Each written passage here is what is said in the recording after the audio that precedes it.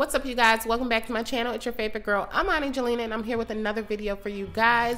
This here is a really quick info picture that my client did want to go for, but we're literally just going to jump right into this video and we're going to talk about some of the supplies that you need.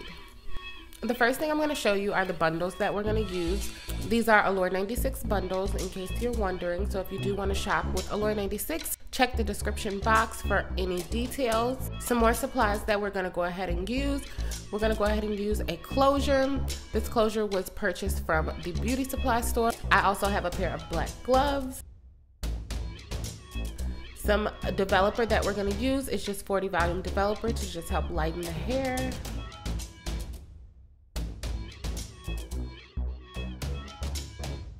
And then of course we're gonna use BW2 powder as our bleaching. And then the last few items are just tools, a bowl and a comb, along with a dome spandex cap to construct the wig, a wig band to help secure the wig on her head. So first I'm gonna go ahead and put on my gloves. Now I'm gonna go ahead and tap into that that BW2 powder.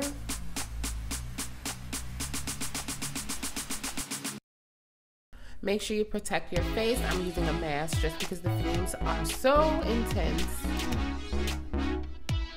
And I'm gonna scoop a few scoops into this red bowl that you see. This is just a bowl from the dollar store. And then I'm gonna go ahead and mix that with the 40 volume developer. And I'm just gonna try to get that to a consistency that I like. I prefer more of a creamy consistency, not as thick as per se like pancake batter, but definitely like super smooth, but not super runny. And you're just gonna see me doing that. And then the next clip, you guys are gonna go ahead and see me actually actually start bleaching the hair. And the color that we're trying to, to achieve is more of a light brown tone. So as you can as you can see, I like to work my way up from the bottom to the top and due to the fact that I do not have a brush, I'm going I'm using a comb to go ahead and distribute the product. Make sure you distribute it super even. As you can see, I'm putting random highlights all through the hair just because I want the color to be super gradient all throughout. Now after I lighten the hair to my desired tone, to my desired color, I'm just gonna go ahead and start constructing the actual wig.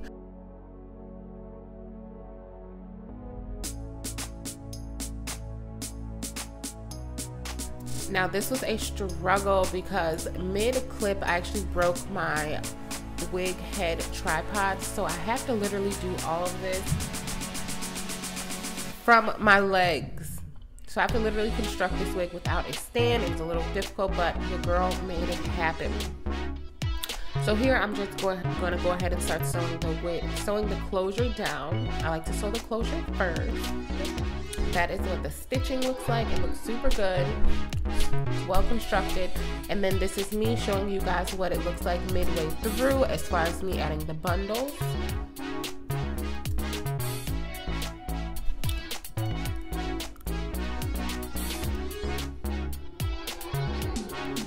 Now that everything is constructed, this is what the unit looks like. It's super full, super fluffy. The color came out super freaking nice.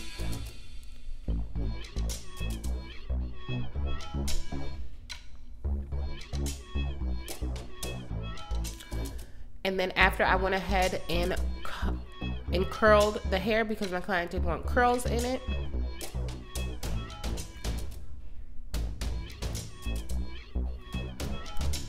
I'm gonna go ahead and start packaging up her order. And as you guys can see, the hair looks beautiful. Some tools that I have, I have a net just to go ahead and protect the hair during the shipping process. And then I have one of my pink mailers to package the hair in.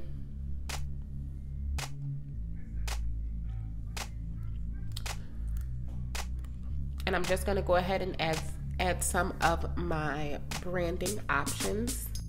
I was pers I was looking for a postcard, but I guess I have to print out more. If you guys want a video on me printing out postcards from home, let me know super cheap, super effective, and you can literally do it from your at home desk. So since I did not have any postcards, I'm of course going to go ahead and put some business cards in there. As you guys see, I need to print more business cards, but this is one of my business cards that I'm going to use for this particular order. And then these are little stickers. All of these branding options I do print from home. So let me guys let me know if you guys do want a video on that.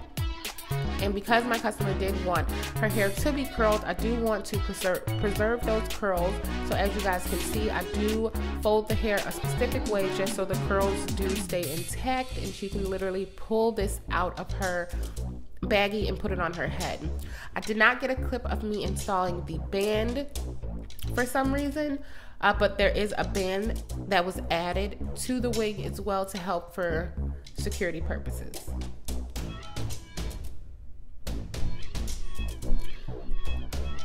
Everything looks super good. And now it's time to go ahead and package up this order. So as you guys can see, after I added the net, I'm just gonna go ahead and put the hair in the mailer. If it'll go in there. Make sure everything looks super crisp. And I'm gonna go ahead and add my business card.